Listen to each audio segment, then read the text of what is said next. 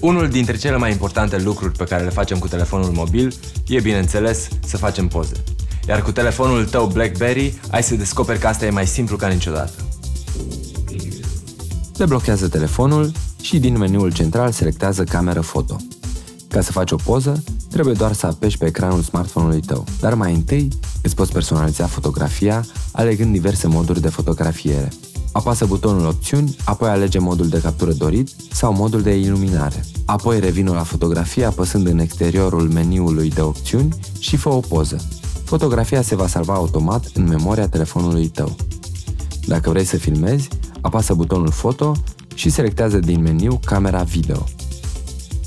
Apasă pe ecranul smartphone-ului tău ca să pornești, respectiv oprești filmarea.